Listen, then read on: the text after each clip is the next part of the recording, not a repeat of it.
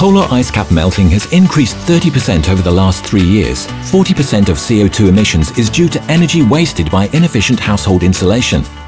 Ursa, a leading manufacturer of thermal insulation materials that optimize energy efficiency in buildings, wants to make the maximum number of people aware of how they can reduce global warming.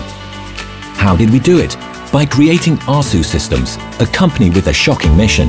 We needed a CEO, his LinkedIn page, a corporate video. We have come up with an efficient, natural solution.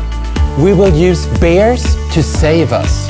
The Inuit have been using bear skins for centuries to keep warm. A company website in four languages, Facebook and Twitter accounts, the product range, a telephone number, press release for the company launch. This company may be a fake, but people's reaction is real.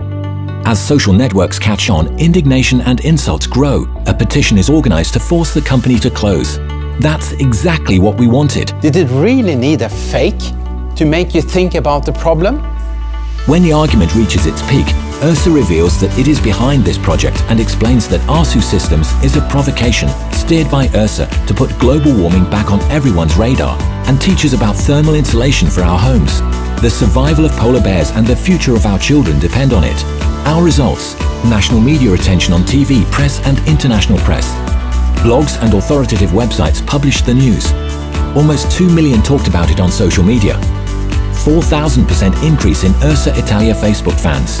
Next steps.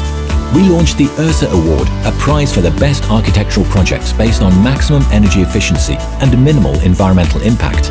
And we are raising funds for our partner, Italian Climate Network, a non-profit association that fights global warming. Ursa, insulation for a better tomorrow.